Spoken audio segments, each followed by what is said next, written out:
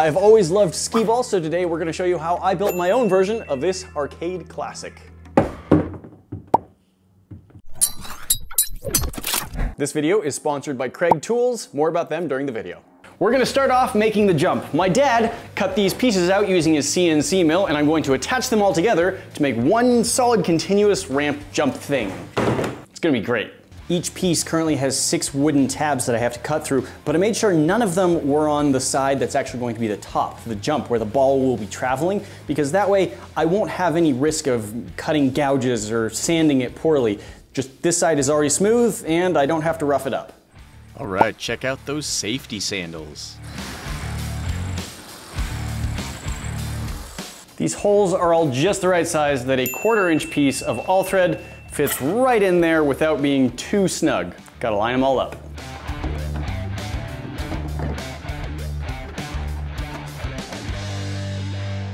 If I remember right, this actually took 28 pieces of jump all lined up to get the width that I needed.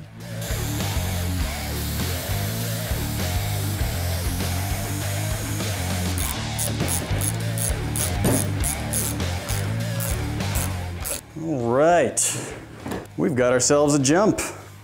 Five minutes later. It's actually been a few months since I built the ramp, and it's time to do some more work. In the meantime, I've kind of reorganized my entire garage so it doesn't hardly look like the same place, but it's way better for building, so I'm very excited to do some stuff. Flawless. I made a 3D model of this whole skee ball then I broke that down and I took all the pieces and laid them out on just a 4x8 sheet of board to try and figure out good nesting. So now what I'm actually gonna do is draw every piece onto the board and then I'll cut it out from there.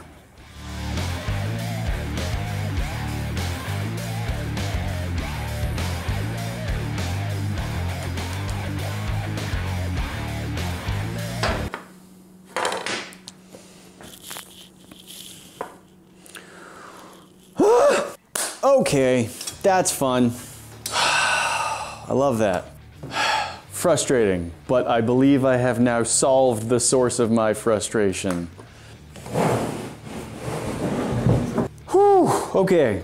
I got all the lines drawn. I, uh, I had messed up some of the stuff in the design phase, which of course made problems with like the patterning phase, which of course made more problems when I tried to bring them onto the drawing on wooden boards phase. I think I got it all figured out. Time to start cutting. Time to actually use the track saw that I was excited about. Let's do this. As much stress as not getting my measurements right caused me before, I swear the Kreg track saw took away that much stress from the rest of this build. I love this thing.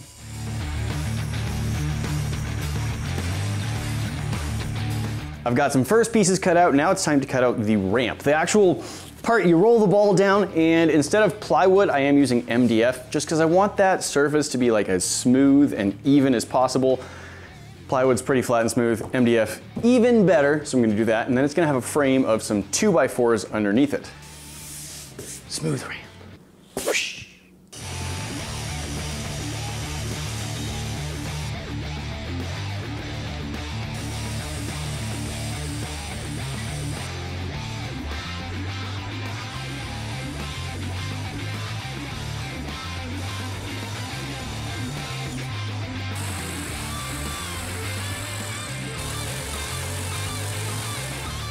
So this is our jump, this is our ramp.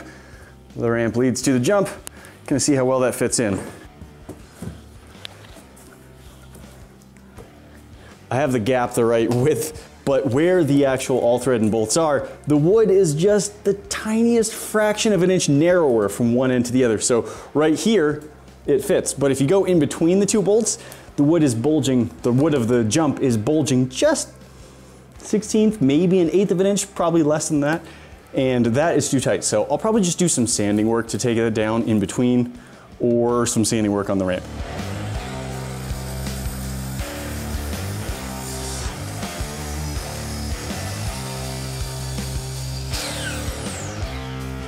Now, I don't own a jointer, but I want a jointed edge on all of my 2x4s here. Fortunately, my dad owns one and he lives close enough by that I can just use his. Thanks, Dad.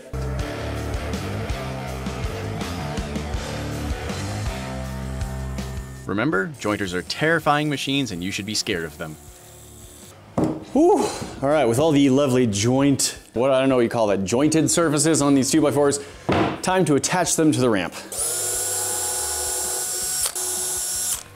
So I marked on one surface of the MDF where the 2x4s would go, and then I drilled through that direction. Then I loosely attached the 2x4s, flipped it over, drilled back through so the 2x4s were pre-drilled, and then attached the screws. There might have been a better way to do this.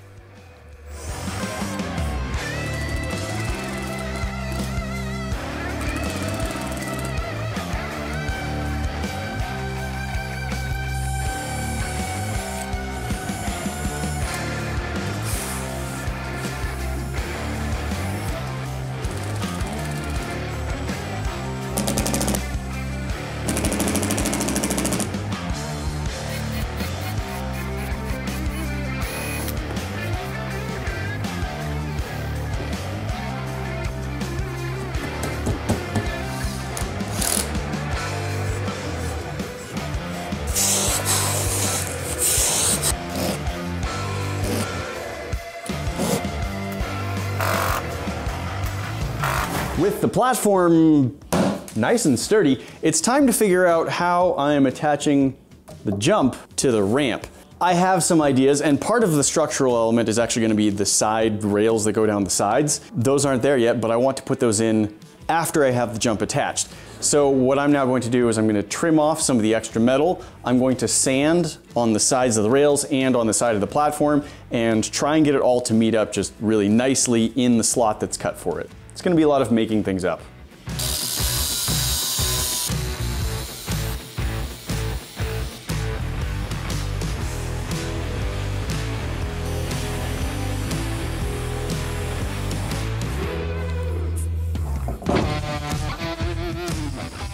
I will say that while the track saw did a great job on this, I don't really think this is what it's meant for.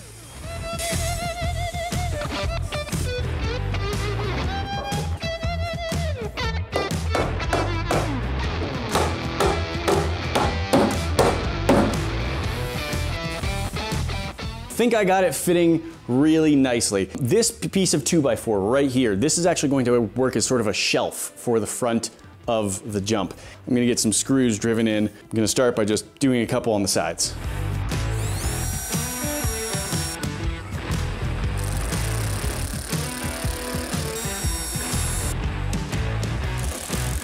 So I do have a gap that goes around the jump where it meets the ramp. Is it ideal? No, but I'm prototyping this as I'm building it, so unfortunately, little things are gonna pop up. Well, that's not the ideal angle.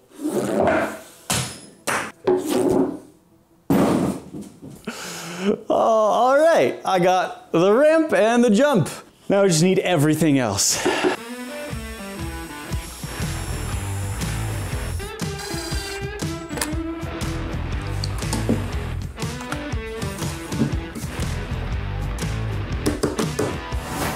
Right, so we've got some attachment at the front. We're going to have more attachment on the sides. This is one of the interior side panels, and that's gonna go right about there. Oh, that's good. I'm liking this. Yeah, that's gonna go there. They'll have more side panels on the outside. It goes down more. Mm.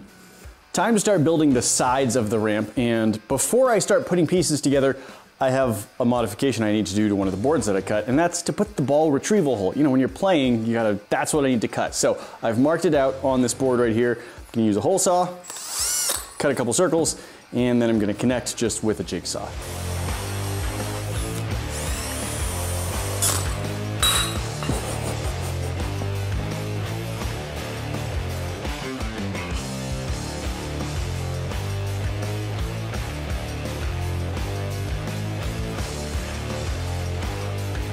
This Kreg pocket hole tool made super easy work of all of the joinery, and it's crazy strong. As always, a huge thank you shout out to all of our supporters on Patreon. If you're interested in joining our Patreon supporters, the link for that is down in the description.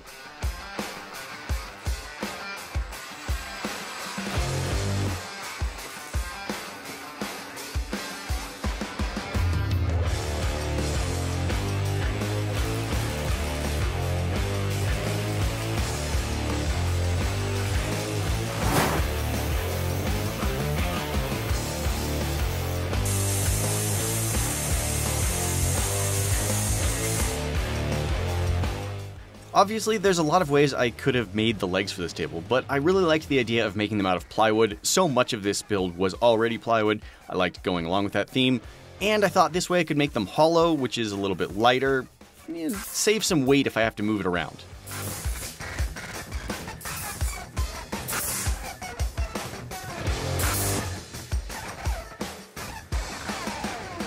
I tried making a wood gap filler using wood glue and sawdust, and I think I just used the wrong sawdust. I, I ended up just buying some wood putty.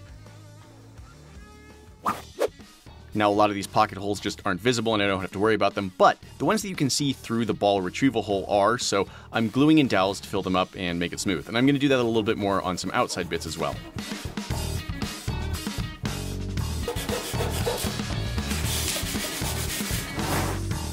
Now it's time to start building the main box, you know, the, the back part where the point target is.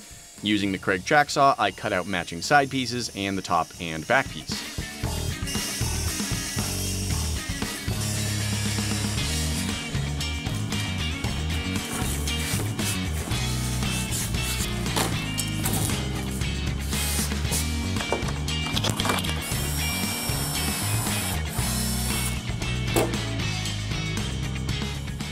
Once again, using pocket holes as my joinery, it's it's just an easy way to go. It's This is plywood. I'm not trying to do anything fancy. I just want it to be sturdy and hold together. To make the ball target board, I needed precision work for the spacing and the layout. Back to my dad and his CNC, so we programmed it to cut all of the point holes in the exact right spacing and size, and frankly, they're much nicer circles than I would get using a jigsaw or even a hole saw.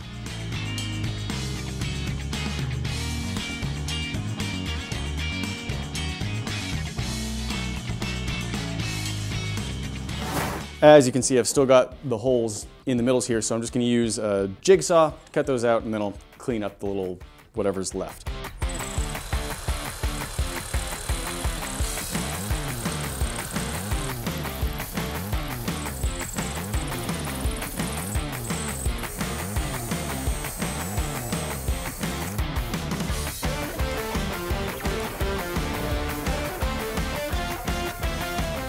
Even more pocket holes.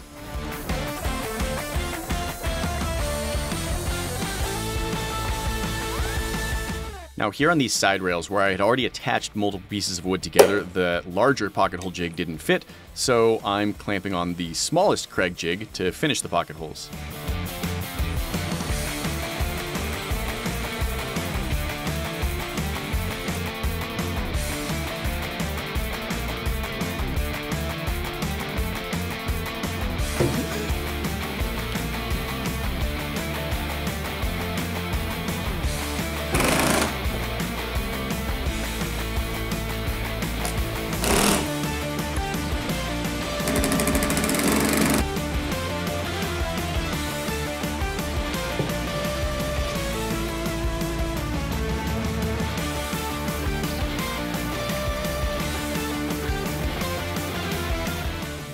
We didn't show it, but I did recess some holes into the sideboards so that the bolts on the jump wouldn't bump into them.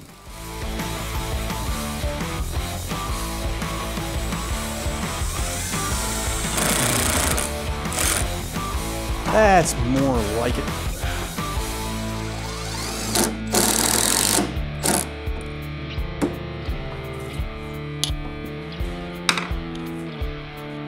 And just like the pocket holes inside the ball retrieval spot, all these side rails have visible holes and we don't want that, so filling them up.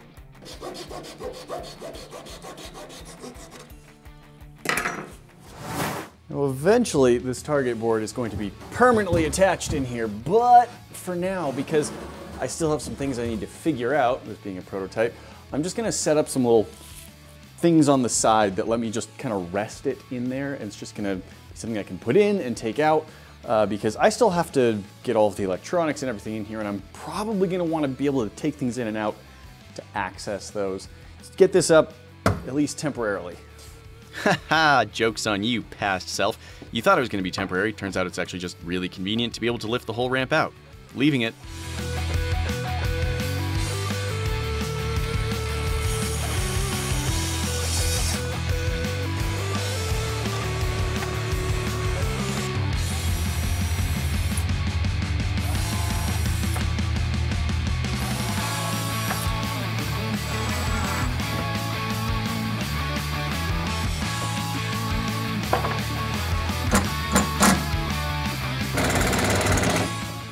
Expect I can set it on there and it will just slide.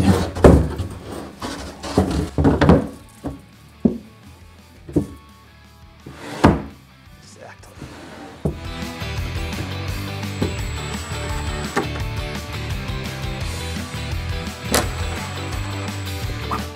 Made feet for the ramp. So far those feet are actually just sitting underneath it. I figure I could actually attach them. They'll do more that way. Plus, I need to do other builds and measures and then gotta get feet on this and the other hat. We're doing feet now. Note to self, fire the guy who makes these captions.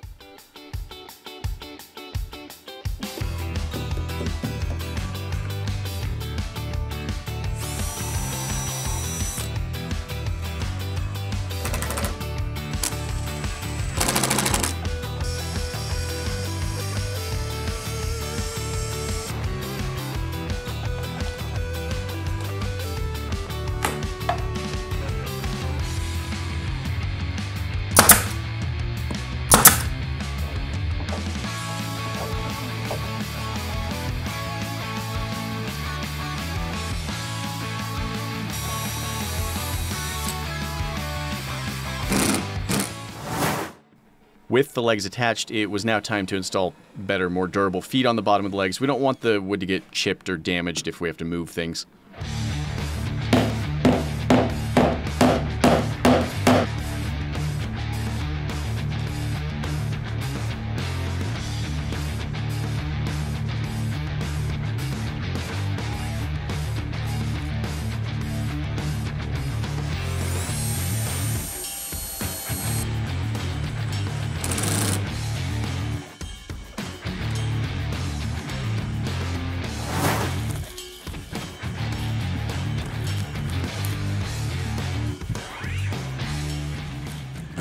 Just enough clearance. Should make sure that a switch gets flipped every time. Click, click, click, click, click, click.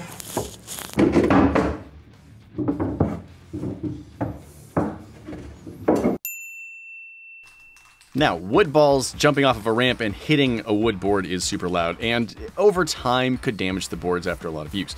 So I found some rubber padding to install on the back of the whole board to just dampen everything, cushion the blow, and all that. The rubber sheet that I used for this was like a horse stall floor mat, and while it's definitely durable, will hold up forever to use, I regret this choice because it is insanely heavy. It's half an inch thick of super dense rubber. It was way hard to cut, it was hard to machine, it made the whole backboard like two or three times as heavy, and I really should have found something way thinner, like a quarter or even an eighth of an inch thick, instead of half an inch thick.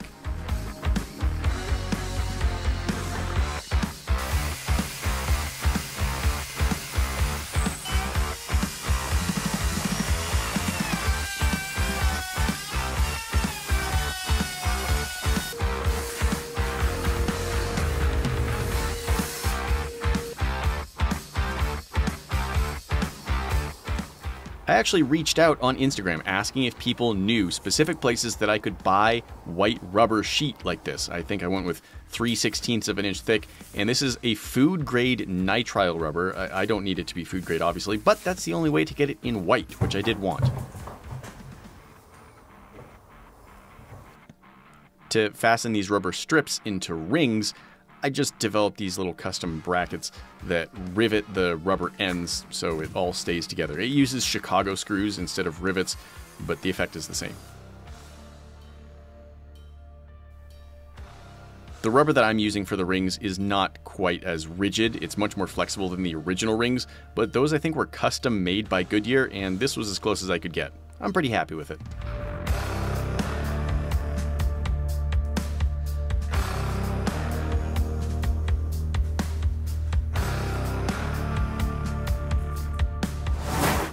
Got all of the rings in place and this thing is looking really good. Just a couple more spots till I get to a good like playable point. I've got this foam backing right here. It's just set right there right now, so I gotta glue that down. And I gotta attach something on the front, but at that point, it should be playable. that worked great.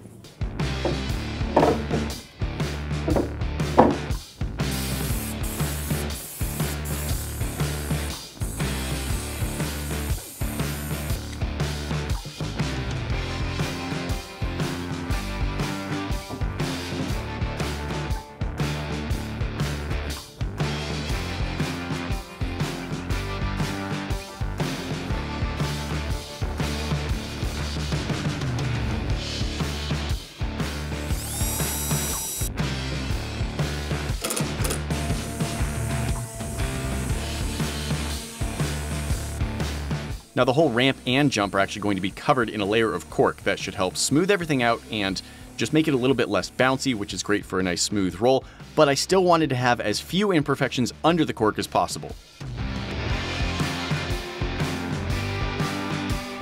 Again, I should have used a lighter weight rubber. This would probably be a one person operation if I had.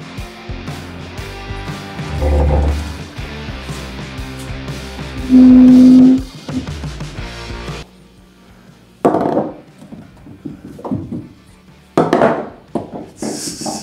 quieter with the fan. Oh man.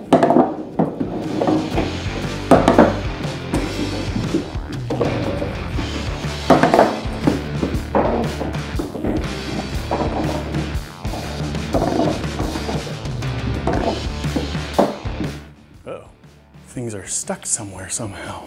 This hole, it doesn't have screws. So as balls have dropped into it, it pushes the plastic out. So it dropped down far enough.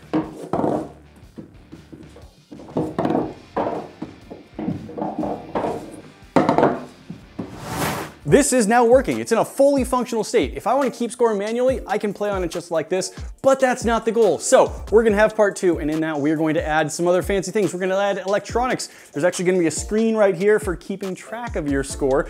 And the whole thing, apart from just being decorated, is actually gonna have a really cool and bizarre twist to it, which I think you're really gonna like. So make sure you're subscribed, come back for part two. I think you're gonna love it. Thank you to Kreg Tools for sponsoring today's video. The track saw, the pocket hole jigs, and the adaptive cutting system I used were absolutely instrumental in building today's project. Check the links in the description to get your own today.